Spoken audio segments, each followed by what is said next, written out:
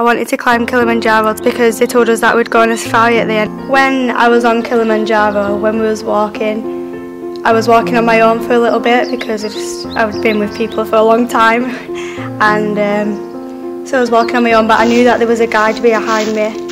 I carried on and then when I looked behind he wasn't there so I had a bit of a panic attack and cried but then I found everyone again. Thought I was lost in Africa. The altitude sickness made me struggle a lot on the mountain because it made me feel really sick and I thought I couldn't carry on but I made it to the top still.